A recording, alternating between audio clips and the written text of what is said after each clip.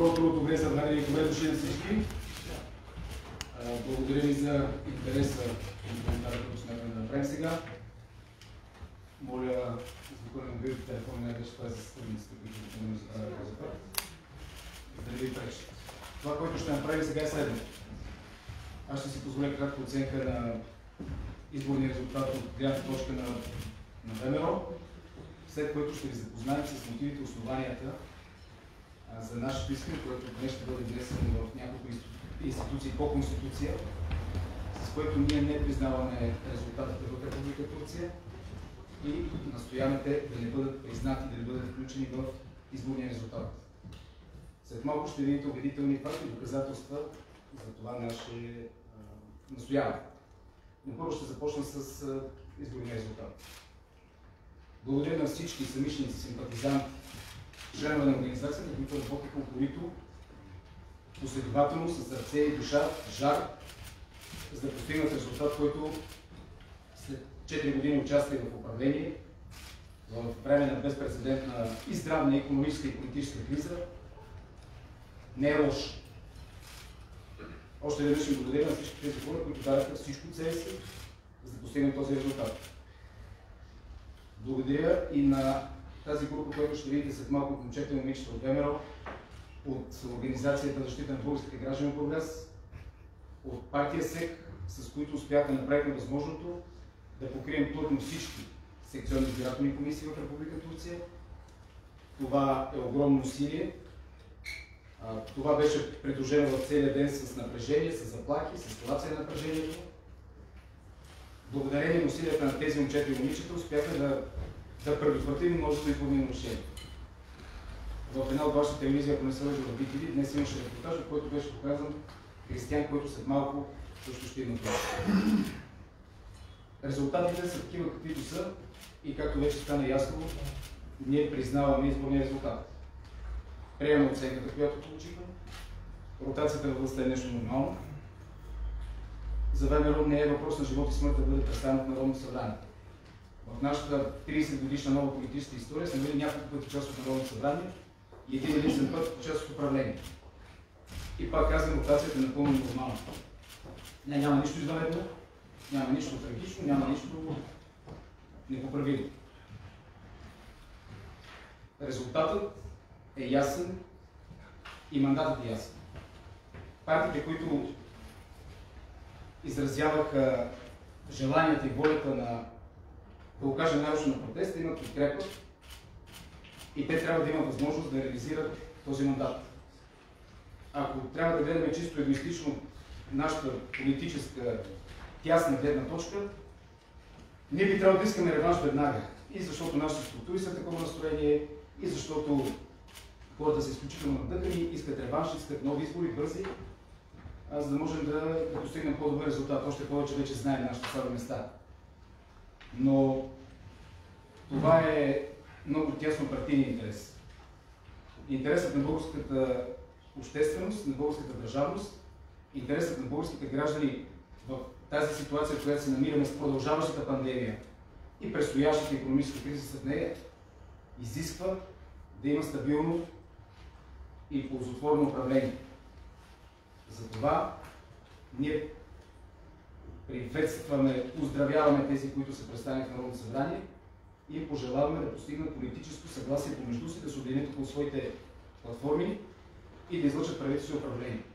И да докажат с действията си изпълнение на своите политически програми. Това би било разумно и полезно. Всичко останало би било във вреда на интересите на българските граждани и би било във вреда на, на, на много системи, като здравна, социална и така нататък. С това приключвам с тази част на анализа. Ще имате възможност за въпроси, за коментари, сигурен сте, че ще има такива. Сега ще помоля при мен да дойдат Христо, Християн, Юнона, Сето ще си остане там на, на компютъра. Заповядайте да се вижте. Това са... Може ли сигнала? Това са част от екипа, който, с който работихме в изборен ден в Турция и правния екип, който изпълняваше изпълваше сигналите към Централната избирателна комисия. Сега ще ви прочета какво, днес, какво предложение днес изпращаме до няколко институции. Те са Министерски съвет на Република България, Главна прокуратура на Република България, председател на Върховен административен съд, председател на Върховен касационен съд, Народно събрание. По закон това са институциите, които могат да се обърнат към Конституционния съд. Защо? Защото изборните резултати могат да бъдат оспорвани, обжалвани и а, обявявани за действителни и недействителни от Конституционния съд. За тази цел ви изпращаме към тях следното мотивирано предложение. От мое в качеството на заместник председател на участник в изборния процес в Турция и от името на Юлян Ангелов, който е организационният секретар на ВМРО, Българско национално движение. На основание член 305 алинея 1 от изборния кодекс във връзка с член 150 алинея 1 предложение 6 от Конституцията на Република България, параграф 6 от Конституцията на Република България, закон установени 7 срок, качеството ни на партия е регистриран за участие в изборите за Народно събрание с решение на Народно събрание на основание на член 305 алинея 1 от изборния кодекс, оспорваме законността на произведените избори за народни представители на територията на формираните в Република Турция секционни избирателни комисии. Смятаме, че по време на изборния ден бяха извършени множество съществени нарушения по смисъл на изборния кодекс, грубо, показващи разпоредбите на закона, които са основания за преразглеждане на резултатите във всяка една секция в Република Турция, тъй като същите са повлияли върху крайния резултат и са явно основания за касация. Посочваме част от законни нарушения. Те са следните няколко групи. Нарушението на правилото за разговори на присъстващите на език различен от български. Съществено нарушение. Незаконно съобразно попълване на декларация по образец. Нарушаване правилата за агитация в изборния ден и то от страна на членовете на секционните избирателни комисии. Други чести нарушения на територията на СИКовете в Република Турция. Нарушаване на правилата за проверяване гласовете, уредени в раздел 8 на Изборния кодекс от страна на секционните избирателни комисии. Искам да подчертая тук, че това оспорване изборния резултат няма да доведе до това време да влезе в Народно събрание. Не го правим по тази причина. Дори всички гласове в Турция да бъдат обявени за недействителни, което не е възможно няма да се случи, това няма да промени изборния резултат по начин, по който да размести партиите, които влизат или не влизат в Народно събрание. Дори е възможно, ако ние успеем да докажем нарушенията, които сме документирали, е възможно да доведе до пренареждане на, на, на поредността на партиите в Народно събрание. Така че, например, коалиция Демократична България Обединение да измести Движението за права и свободи. И въпреки, че тази коалиция е наш ярък политически противник, все пак е коалиция съставена от български партии. Така че, колкото по-назад е етническата партия, толкова по-добре за цялото общество, не само за нас. Сега ще дам думата на част от хората, които участваха в изборния процес, да разкажат за най-честите нарушения, които видяхме, после ще ви покажем част от тези нарушения и после ще имате думата за въпроси. Ще започнем, разбира се, с дамата. Заповядай, Руна. Общо взето, още от началото на изборния ден, да започнем с нарушенията. Най-често, което, както каза Джамбаски, беше говоренето на турски язик. Говореше на турски язик между членове на комисията, между членове на комисията и избиратели, и между на комисията и част от организацията на училището, в което бяхме. Ние бяхме в район Юрикле в Бурса което е реално най-голямата секция в Турция. Само от нашите секции имаше 900 гласа, като зад училището бяха паркирани два автобуса, даже и трети по-късно се появи, с надпис Българистан. И а, една от нашите наблюдателки беше направила снимки, но след това не беше допусната близо до самите автобуси да им снима номерата. номерата. А, също така а, беше, имаше и нарушения на епидемичните мерки, нямаше дистанция между хората, като когато аз настоявах за тази дистанция, беше се от самите членове на комисията, нямаше дезинфекция почти никаква и бяха пускани прекалено много хора време да се записват. Също така, пред а, самата стая и отвън на училището имаше чин с трима човека, които пишеха декларация в името на другите и на възпредавателите. И а, първоначално дори подписите не бяха доставени пред нас. След това, след а, доста спорове, най-сетне се съгласих останалите членове, за да може да се подписват гласоподавателите по нещо пред нас. Благодаря ти. Добре. Това, което видяхме в Турция да се случва, беше точното определение за корпоративен вод, хората бяха докарани на столупи, да гласуват само единствено за едно определено нещо. Те дори не знаеха как да се подпише правилно. Голяма част от тях бяха неграмотни. Доста от хората в изборната секция не следяха дори за това дали личните карти са им дали са в дали още не са изтегли. Те просто ги записваха и даваха зор другите хора да влизат колкото се може повече гласа да вземат. Те не се съобразяват с противоепидемичните мерки. Искаха да се отпадат от две повече секции, за да могат да гласуват повече хора на клуб, което рязко нарушаваше дистанцията и не позволяваше да има да спазват мерки. Също така, най-малко се говореше на български язик в самите секции от членовете на комисията. Те говорят предимно на турски, от началото на изборния ден до края. Често си говорят с господавателите, само на турски, цел агитация или не, че не обясняват разни работи, това не се знае, понеже беше, беше нарушено правото да се говори само единствено на български язик. Благодаря ви. Само ако може да се свалите маската, че не ви чуваме добре. Здравейте, относно нарушенията в моята секция, които ставаха на въпроси, се извършиха по време на изборния ден. Аз присъствах в една от най-представителните секции в Бурса, именно в консулството, самото българско консулство в Бурса. Мога да ви кажа, че дали в някаква толкова представителна секция, която трябва да се спазват и да се следят стрикно правилата, не можахме със сигурност да последим и да установим всички извършени до тогава нарушения. Именно ставаше за въпрос нарушение на два члена от Изборния кодекс на Република България. Извинете именно член 223, който казва забранено изнасянето на изборни книжа от самите секции и член 224 забранено изнасянето отвън на изборни книжа. Става въпрос за едни декларации, които биват предварително подписвани от не се знае кого, предварително записване на лични данни в тях, при което само да бъдат подписвани пред нас, пред самата избирателна комисия, за да могат да носят наказателна отговорност самите лица. Това също само по себе си е нарушение на презумпцията за българско, българска граматика, българско образование, понеже в изборния кодекс се казва, че а, всеки, който е неграмотен на български, няма основание той да има право да гласува. Следователно, той трябва да може и да, си, и да пише на български, и да чете на български. Масово това правило се нарушаваше, масово отвън се изнасяха изборни книжа. А, не можахме това да го спрем, при което нашата секция затвори за около един час, за да разгледа този казус. След разглеждането на този казус и с разговори с а, някои представители от Централната избирателна комисия, се приеха мерки, които максимално да могат да максимално да са точни след приемането на конкретното решение, издадено от ЦИК, за да могат максимално до края на деня да се извършат минимален брой нарушения, съгласно български избирателен кодекс. Благодаря. Благодаря, Християне. Христо.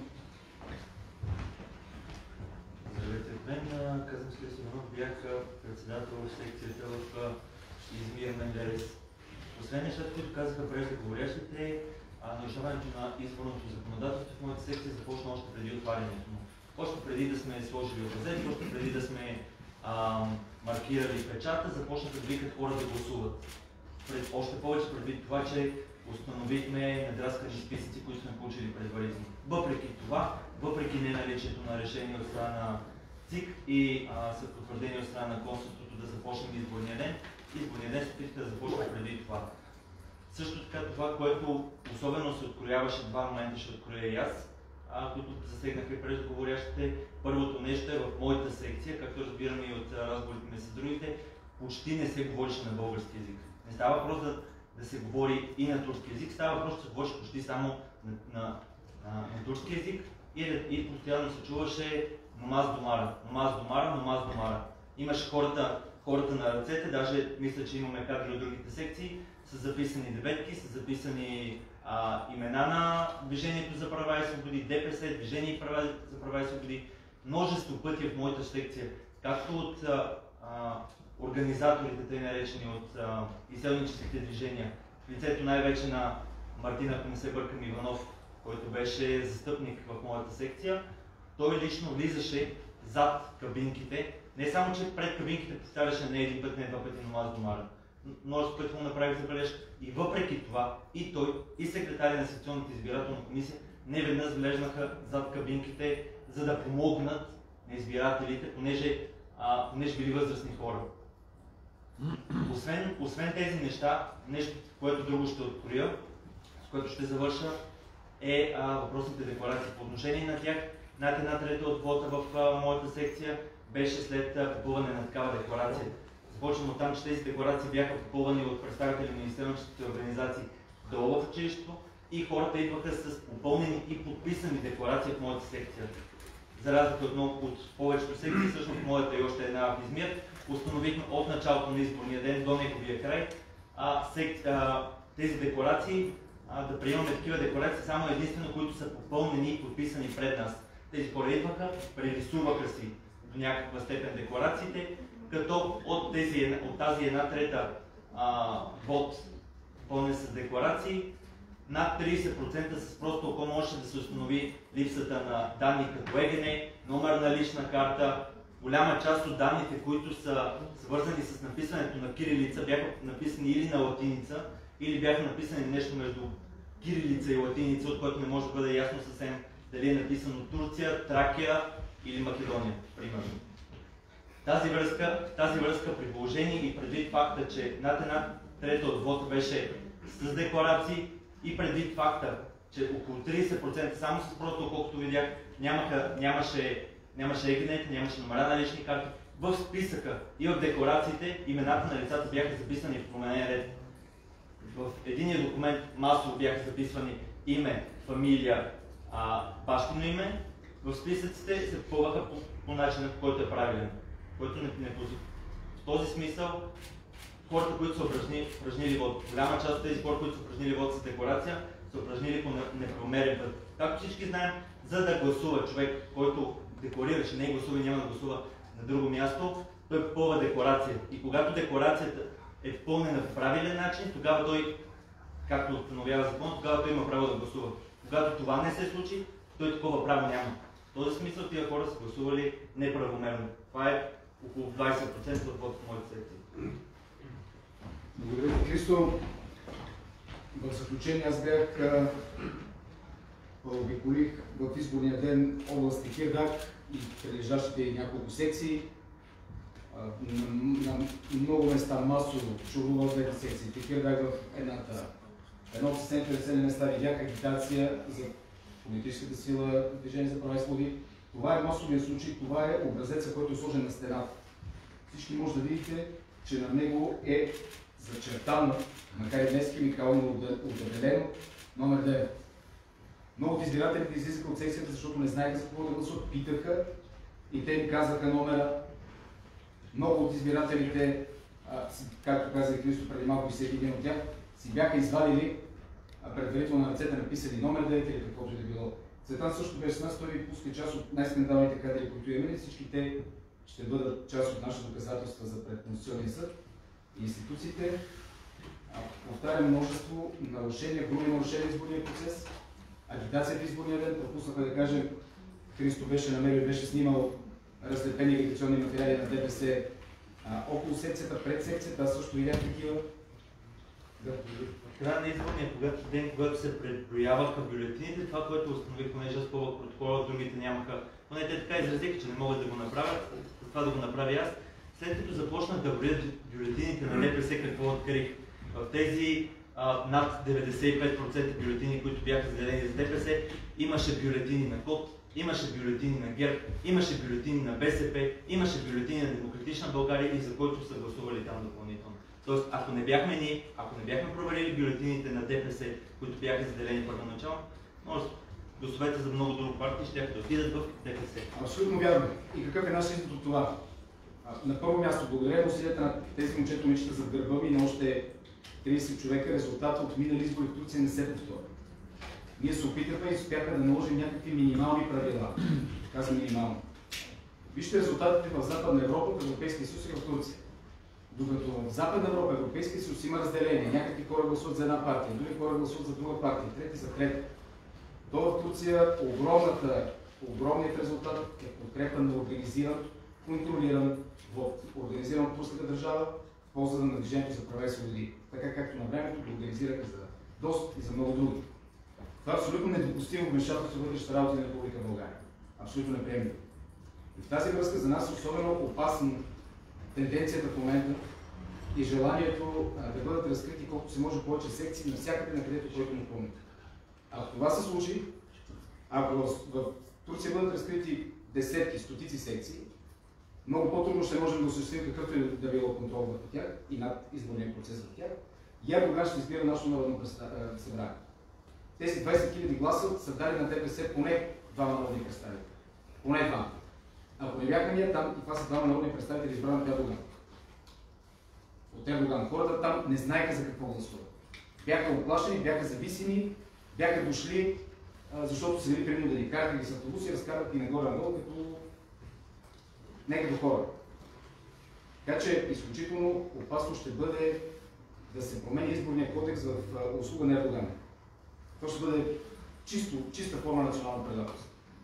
С това завършвам. Заповядайте, имате думата за въпроси.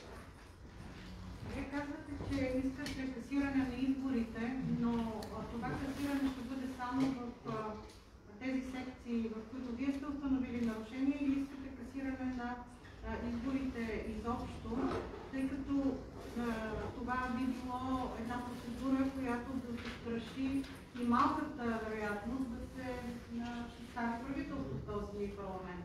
Точно и ясно. Искаме касиране в 35 секции в Република Турция, в които сме установили избирателни нарушения. Веднага ви цитирам, ако се отвори, пред мен са, аз ги гледам всичките протоколи. Ако се отвори протокол от секция номер 3259-00424 Турция, Чорлук, квартал Шейх Синан, вътре нищо не отговаря на нищо от записаното в протокола. Нито броя на бюлетините са оставени, нито действителните, нито недействителните, нито сбори, нищо с нищо. И това беше оправдано с един протокол, който те написаха, между другото, в секцията, който не владееха български език. Аз молих секретаря да си напише протокол и му даде да си прочете правилата методическите и той не можа да напише нищо. Секретарят на секцията не владееше български език, не говореше, не четеше български език. Той трябва да добри резултат.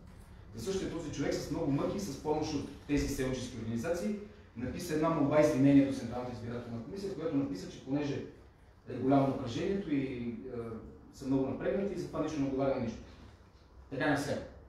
Това, което искаме ние, да бъдат касирани изборите в Турция, това няма да промени политическата ситуация в момента. Може да изкара Обединение демократична България една ДПС. Но така или иначе няма да промени гласовете на тези партии, които заявяваха себе си носители на идеите на протест от миналата година, т.е. тяхното усилие да съставят правителство по никакъв начин не са застрашени от тази процедура. Ние искаме да се спазват изборните правила и не желаем Ердоган да избира български народни представители. Заповядайте за други въпрос. Заповядайте. Споменахте, че обмисляте възможност за колаборация с партията на Петър Носов Общите ли го като грешка, че това не се случи и след това можете да работите за промяна в изборния кодекс точно по тази посока? Изборните резултати са ясни. Решението беше такова, каквото е тук. От наша гледна точка не беше грешно. И аз и сега се за това решение.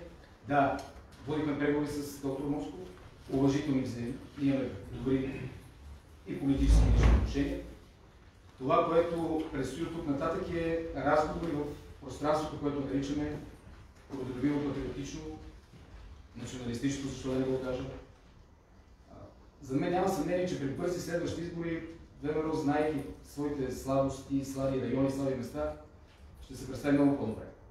Но пак ви казвам, това е политически егоизъм. Ние сега четем правилно какво са ни казали избирателите, те са ни изпратили в опозиция извън парламентарна. И трябва всеки да се научи урок. Това не е някаква драма. Хубаво е да има промяна. Дали ще има разговори, предстои от тук нататък. Но при всички положения, тези избори по някакъв начин, резултат от тях и, как да кажа, пречистваш до голяма степен за, за тази част от политически спектър, към която ние принадлежим. Защото а, приключиха процеси, които бяха деструктивни в него. приключиха процеси, които имаше няколко коалиции и партии, които се регистрираха тези избори за прият по нас. Само с тази цел. Нищо друго. И ви ги видях. Моето лично убеждение е, че няма да ги има повече на избори, това по-скоро добре за българската демокрация. Ще ги някъде другаде, в културно-развлекателната дейност. Но, да, разговори трябва да се обмислят и ще със сигурност. Заповядайте. Виждаме, че потенциала на този спектър е около примерно 8%. Предвиждате ли обединение или коалиции с Възраждане, с Воля, с НФСБ, с Атака отново на следващи избори? Кои са потенциалните формации в момента след тези избори, с които ВМРО готово да се партнира и да започне забавни преговори с оглед на прогнозите за къс а, живот на широкия спектър? Разбрах. Част от тези, които визирате политически субекти, наричат себе си патриотични, но това е като да си вземеш една марка, сам да се сложиш и да твърдиш, че си под нея. Патриотизма се доказва с действия, не се избира в последния ден. А, от друга страна, видяхте, че механични коалиции, които се направиха в последния ден на Народното събрание, не са успешни, въпреки големите заяви. А, по отношение на Възраждане, председателят на тази формация знае пътя към тази сграда, много пъти е бил в тази зала, на тази катедра, в качеството си на заместник председател на ВМРО и на догодишен служител на ВМРО. Повече от 15 години беше служител на ВМРО. Така че ако има желание да водим разговори и желая да срещне хората в тази зала, може да дойде и да представи своите идеи. Но това ще му трябва известен кораж и дързост. Но ние не бягаме от разговори с никого. Уважаваме всеки един резултат. Всеки, който се бил на тези избори, пак, пак ще повторя и за вашите колеги, а ние признаваме резултат от изборите и свое- и своето място. Уважаваме всеки, който се е бил, защитил някакви гласове и някакви позиции. По отношение на субектите, които споменахте вие, част от тях, според мен, ще редуцират своето присъствие на политическата сцена и от тук нататък това, което трябва да се прави, е да се надгражда политическата формула, за да бъде представен българският национализъм. Аз имам едно което ще споделя с вас и то е каква ще бъде политиката на бъдещото мнозинство по отношение на много важен за България въпрос. Не за нас, нещо сме тази зала. А, по отношение на, на, на началото на преговорите на Република Северна Македония за членство в Европейския съюз. И виждате, че в сегашното Народно събрание са представени информации, които имаха поне декларативно на първи етап много тревожни позиции по тази тема. Така че тя трябва да бъде защитавана. Ако ще се говори за бъдеще за обединение на родолюбие, патриотизъм и национализъм, то ще бъде върху тези основи. Аз си мисля, че ерата на, на механичното коалиране приключи. С добро и за лошо. Назад във времето и ние сме участвали в такива механични коалиции. Резултатът е очевиден и всеки един трябва да, да разпознае знака, който дава български избирател. Заповядайте.